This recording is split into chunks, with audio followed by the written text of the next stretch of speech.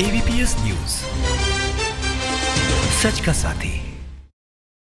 ABPS news team का कारवां आगे बढ़ते हुए जिला बिजनौर पहुँचा, जहाँ पर देखा गया कि गाँव में ग्राम प्रधानों द्वारा सोलर लाइटों का निर्माण कराया गया तो वहीं नलों को रिबोर कराकर स्वच्छ पानी पीने की व्यवस्था की गई। प्रधानमंत्री के स्वच्छ भारत मिशन के तहत ग्राम प्रधान के प्रयासों से शौचालयों का निर्माण कराया गया। तो इसके साथ साथ तमाम अन्य योजनाएँ जो सरकारों द्वारा चलाई गई उन्हें आम जन मानस तक पहुँचाने का पूरा प्रयास करते हुए ग्राम प्रधान द्वारा सड़कों का निर्माण कराया गया ताकि लोग अच्छे से अपना रास्ता तय कर सके। इसमें सीसी रोड के साथ साथ टाइल्स वाली रोड के अलावा कच्चे काम के अंतर्गत मनरेगा के माध्यम से भी रास्तों का निर्माण कराया गया है। तो वहीं प्राथमिक विद्यालयों में भी ग्राम प्रधान ने ग्राम निधि के द्वारा तमाम कार्य कराए, चाहे वो मॉडल शौचालय का मामला हो, चाहे स्कूल में टाइल्स बिछाने का मामला हो।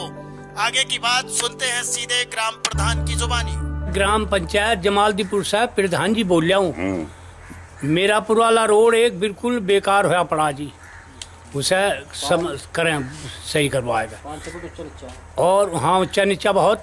और गाँव में भी कई बहुत रोड रह रहे हैं। और आरसीसी के दो टुकड़े सिर्फ़ पड़े हुए हैं अभी। और बोल। लो हाँ जलीलपुर ब्लाक हूँ। जिला बिजनौर तहसील चांदपुर। और परगना बास्टा कच्चे घर कच्चे। कच्चे हैं कच्चे जी रास्ते बिल्कुल। और घर भी कच्चे छप्पर के घर हैं। और पैंसठ घर बिल्कुल छप्पर के हैं और वो साहब सब सिक्रेटरी ने कलवा दिए। नुको ये नहीं बनने के ये नहीं बनने का रहा है क्या चलो तहकीकात करवा लो किससे?